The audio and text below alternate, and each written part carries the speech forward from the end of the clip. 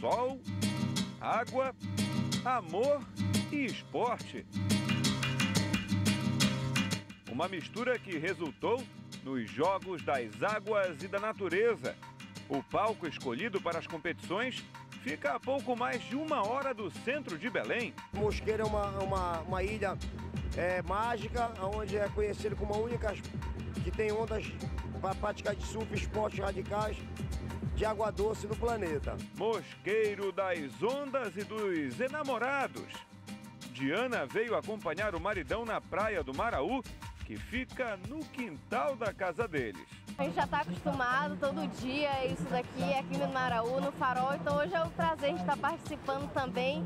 Um evento desse no quintal de casa, só é surfar e tentar ganhar o campeonato. E por falar em casal feliz no amor e no esporte, reparem na relação entre o Severino e a prancha, antes de ele cair no rio.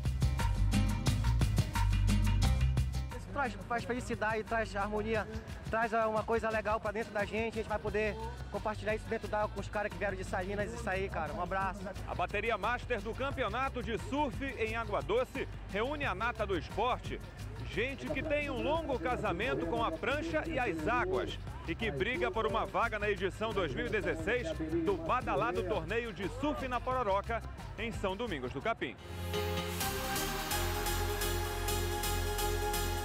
Pororoca que atrai campeões como o cearense Rogério Dantas, dono do título brasileiro Master de Surf e hoje apaixonado pelos caldos doces das praias de Rio do Pará. A onda é a mesma, só que é, na água salgada é um, é mais, tem mais tamanho e mais força, né? Como aqui é um rio, é, tem menos força do que a água salgada, né?